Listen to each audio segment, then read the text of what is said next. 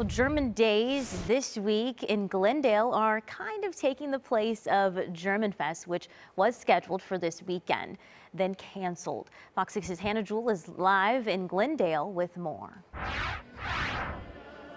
It's kind of a substitute German Fest. It's also kind of a continuation of the Buck celebration. Bucks and six, y'all, right? Bucks and six. Bucks and six. We love it. Yeah, the party's still going out here. We have bartenders who just got done with your shift who are identical Yeah. twins. How are you guys doing tonight? We're doing great.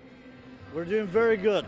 And we've got the polka band still going. A lot of fun out here, and the fun will continue tomorrow.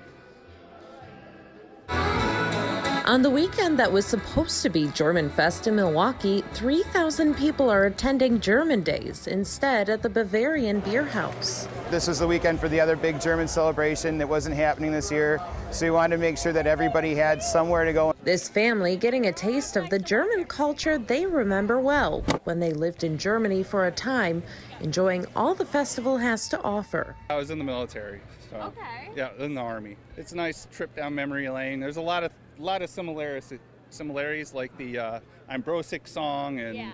you know uh, the rotisserie chickens. Like we would go into the beer tents and you get when you got your table you get uh, Maß, which is the big beer, liter beer, and half a chicken at your table, and it was unbelievable. This is an authentic German festival complete with German beer brewed right here on site, and you can't forget the German food.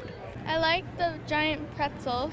We're doing rotisserie chicken and rotisserie pig, as well as bratwurst and all other good things, and we brew our own beer fresh. So it's super exciting, and we have live music as well. And the fashion. This is from uh, Weiden in Bavaria, and it's a traditional summer dirndl. The general manager says the 60 plus year old Heidelberg Park is a nice place to get out and socialize while still staying safe. 300 tables spread out over five acres. So that if you want space, you can still have it. A substitution for families who usually visit German Fest downtown. Oh, we came here instead. It's a good uh, kind of place we're reminiscing about how things were when we lived there and everything. It, it's it's fun. He was on the Amtrak coming back. All right, everybody, Bucks and six. Bucks and six. Six games. Bucks and six. Party's still going here, and it's going to be back here again starting at 11 a.m. Back to you. All right, Hannah, thank you.